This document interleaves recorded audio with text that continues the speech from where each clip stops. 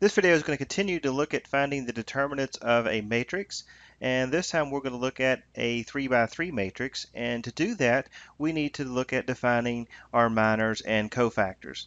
Here we have for the minors is m sub ij and this is going to be equal to the determinant of the matrix that is obtained by deleting the ith row and the jth column. Okay, so we'll first look at that, then we'll come back and talk about the cofactor here, C sub ij.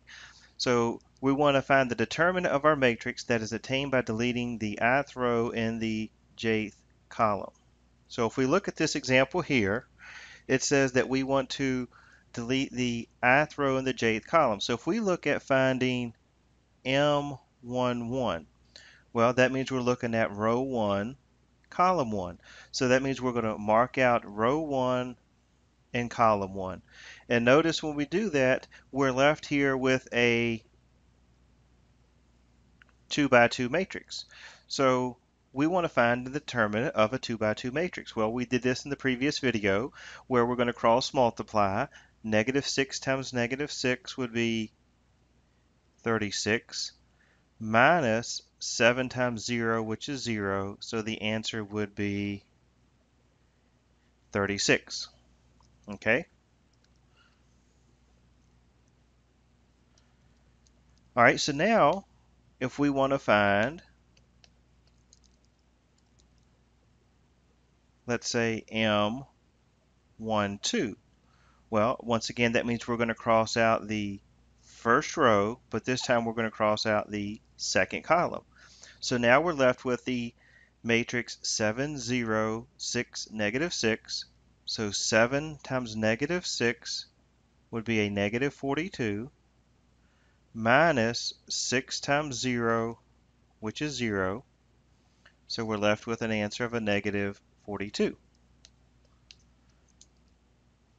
And then if we're going to find m sub 1, 3, cross out the first row, the third column, and then we have 7 times 7, which is 49, minus 6 times the negative 6, which would be a negative 36. And be careful, there's already a minus here, so it's 49 minus a negative, so that's really 49 plus 36, which would be equal to 85. And then if we want to continue here, we could say then what is M2, 1? Well, that means we're going to cross out row 2, column 1. And again, you're left with 9, 4, 7, negative 6. So we'd have 9 times negative 6. Okay. That would be a negative 54. And then we would take minus 7 times 4, which is 28. And then you would have a negative 54 minus 28. And that's going to be a negative 82. And you could continue on with this same pattern to find uh, M22, M23, M31, M32, M33, and so on. So that's how we find our minors. So M11 is simply the 36, M12 is negative 42, M13 is 85, M21 is a negative 82. Now let's go back up here and look at how do we find this C sub ij. So for example, if we want to find C11, well that's talking about row 1, column 1. Well, if we look at the formula, the formula says we're going to take negative 1. So if we look here, we're taking negative 1 raised to the i plus j. So for this first example, the i plus j, we would have this negative 1 here raised to the i plus j. So that would be 1 plus 1. So what does that mean? Well, that means we would have negative 1 squared. Well, the only thing that this negative 1 to the i plus j is going to tell us is whether our sign is going to be positive or negative. So if we look at 1, 1, isn't that going to just simply be negative 1 squared? And because this is an even power, it's going to be a positive 1. And then we're simply going to multiply this by mij. Well, in this case, m11 we found, found to be 36. So we'd multiply by 36. So really all we're doing is taking the minor and multiplying it by negative 1 raised to the i plus j. So 1 plus 1 we end up with, and again this is i plus j, which is, in this case, 1 plus 1. So if you square a negative, that's going to be positive, so the answer is simply just going to be 36. So then if we're going to look for C12, that means you'd have negative 1 raised to the 1 plus 2, okay, i and j, so it's 1 plus 2, which is 3. And that's going to be multiplied by negative 42. Well, if you cube a negative sign, a negative 1, that's going to be negative. So a negative times a negative 42 would make it a positive 42. And then C1, 3 is negative 1. Well, 1 plus 3 is 4. And you probably can start to see a pattern here. Of course, if you have an even power, it's going to be positive. An odd power, it's going to be negative. So you're probably going to guess it's going to alternate here. So negative 1 to the fourth, that would be multiplied by the 85. So then, of course, we would end up with a positive 85. And then if we wanted to find C21, notice here that would be negative 1 raised to the 2 plus 1, which is 3. And that's multiplied by negative 82. So a negative times a negative would make this a positive 82. So if you notice C11, C12, C13, we're going across the first row here. Well, if you take a negative 1 squared, that means this is going to be positive. And then if you take a negative 1 cubed, which is the C12, that's going to be negative. And then if you take the C13, which is negative 1 to the fourth, that's going to be positive. So you can see that these signs are going to start to alternate. So there's a little bit of a pattern here. If I was to draw out a matrix here, and all that I'm looking at now is the pattern of what effect this is having on your sign. So your sign, if you go across here, is going to be positive, negative, positive. If we go across the second row, it's going to be negative, positive, negative. And then if you go across the bottom, your sign would be positive, negative, and positive. Because if you think about the entry, if this is entry 2, 1, then 2 plus 1 is 3, which is odd, so that's going to be negative. Well, this would be in the middle here, this would be C2, 2. Well, that's 2 plus 2, you're going to end up with an even, so that's going to make your sign positive. And then here you'd have C2, 3, which is 5, so a negative 1 to the fifth power would make this a negative. So that's kind of the pattern here. Anytime you're going straight across the top of a 3 by 3, you know that it's going to go plus, minus, and plus. So that way you could actually ignore the negative ones here. All right, so let's look at now how can we use this to find our determinant of a 3 by 3 matrix. So let's look at the example here. If we have our 3 by 3, negative 2, 2, 3, 1, negative 1, 0, 0, 1, 4.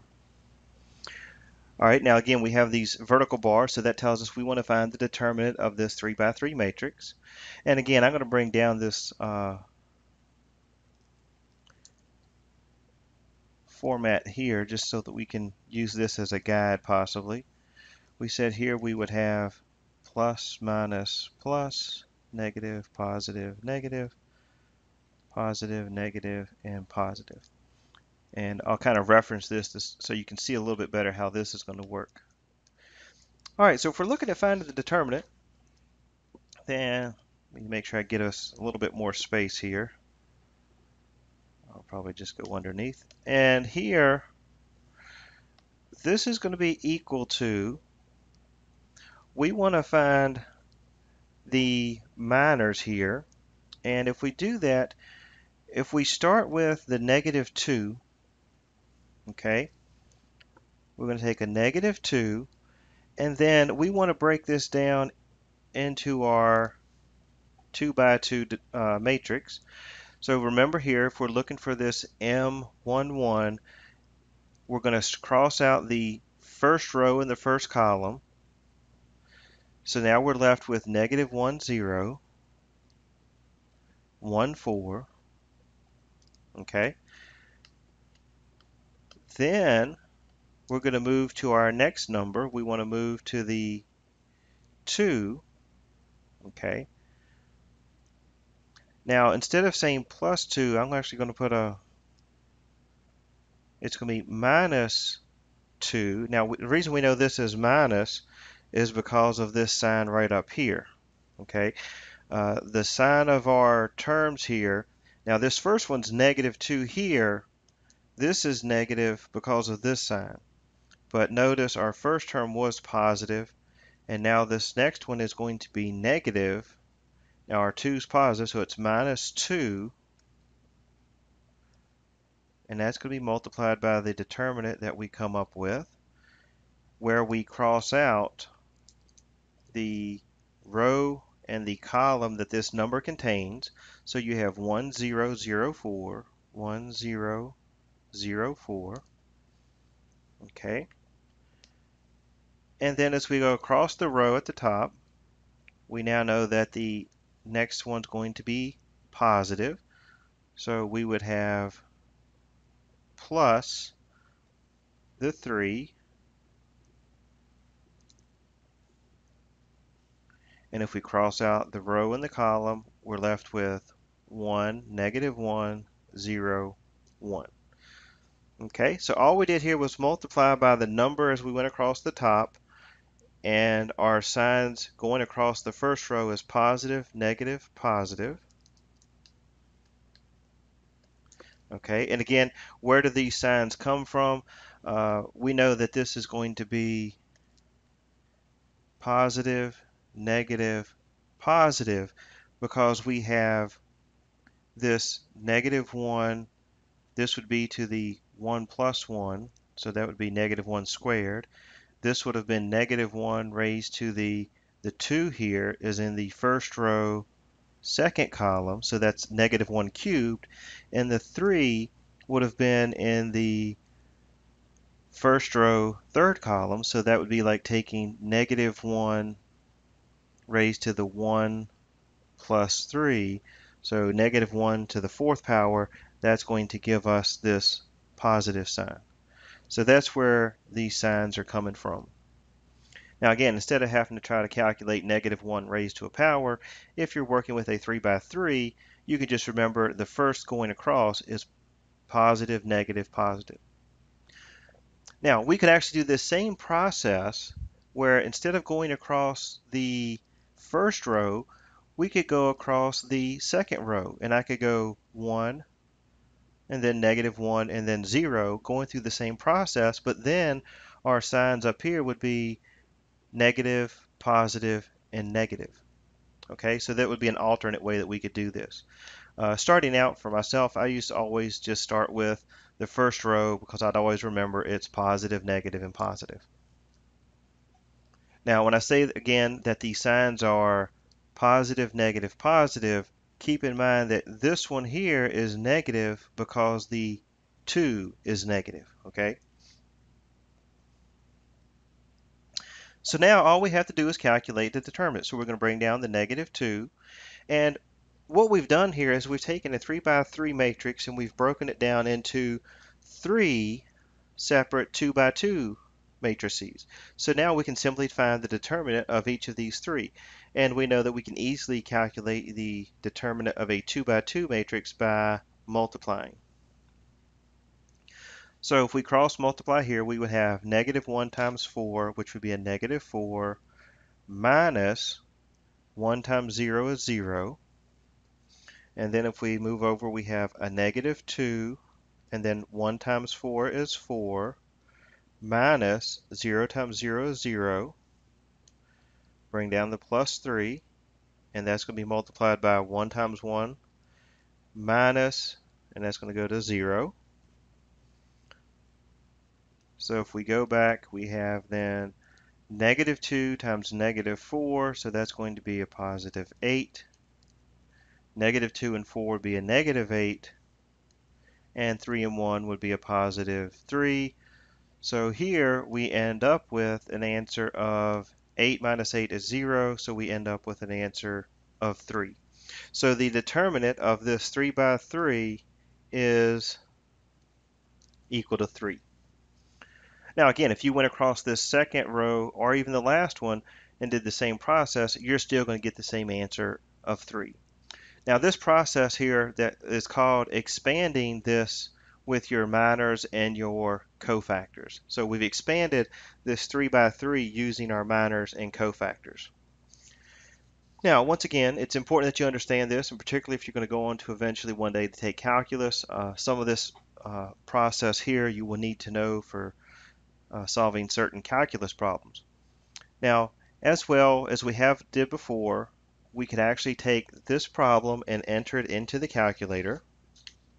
And this is the part that I know you like. If we go to the calculator, we can go into the matrix, scroll over to edit, and of course we have a 3 by 3 matrix. And then we simply type in negative 2, 2, 3, 1, negative 1, 0, 0, 1, and 4. So I'm going to quit, go back into matrix, scroll over to math. Number 1 says determinant. We want to select our matrix, so I'm going to select matrix A. We want to find the determinant of A, and we get an answer of 3. Now, that's all fine that you can use the calculator, but I want you to be somewhat familiar with using the minors and cofactors, how we can simplify this or expand it so that we can determine what the determinant is going to be equal uh, by hand.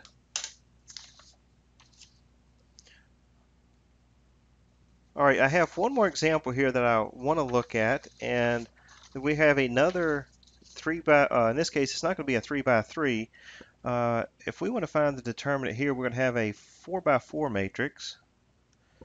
5, negative 10, 1, 1,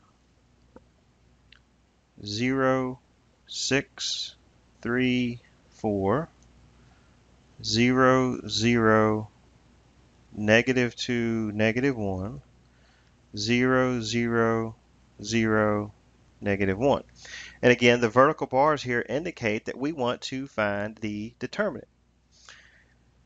Now, this is going to be a special problem here. Uh, if you happen to look closely, you're going to notice that we have our main diagonal here, and then everything below this main diagonal is zero. And this here, so in other words, all of our numbers here are above the main diagonal. So this is called an upper triangular matrix. And of course, if we had just the opposite, it would be a uh, lower triangular matrix. So really this upper triangular matrix, all that that means is everything below the main diagonal here is going to be equal to zero.